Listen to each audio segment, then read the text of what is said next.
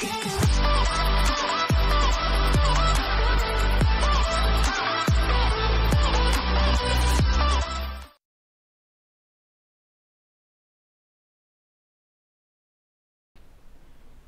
everyone, uh, I noticed that a few people did not realize that you can actually add Star Stable Launcher to your Steam account. If you have Steam, uh, you can actually add Star Stable Launcher to your Steam library.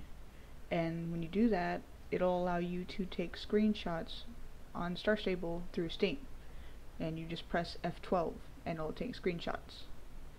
So, uh, I'm going to show you how to do this you have Steam open, you go up here to games. Then you're going to go to add non-Steam game to my library. It is not going to be in here, so you're going to have to browse. And of course it shows up already for me because I searched it. Uh, if you cannot, if you look in three files and you cannot find it, you just go over here and search star stable online launcher. No spaces. And it should come up. You click on it open it'll pop up on top here and hit add selected programs.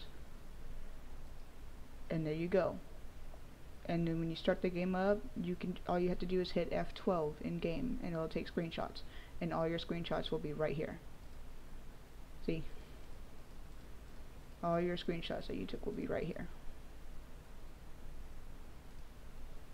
And that's how you do it. Hope this helps. Thank you for watching. See y'all later. Bye.